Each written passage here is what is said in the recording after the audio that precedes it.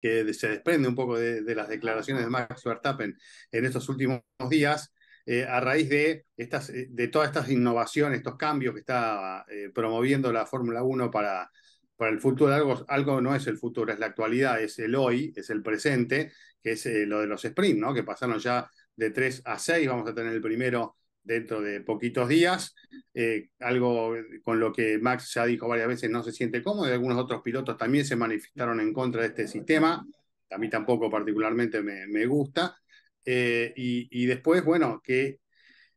se está como trabajando permanentemente en incorporar cosas nuevas, ¿no? Eh, eh, primero en ampliar el calendario, ya estuve viendo por allí también la postulación de, de, Hanoi otra vez en Vietnam para el año que viene, que llevarían a 25 grandes premios la temporada, así que por un lado el exceso de carreras, que pueden ser en el futuro muchas más de las que están siendo hoy, la, la cantidad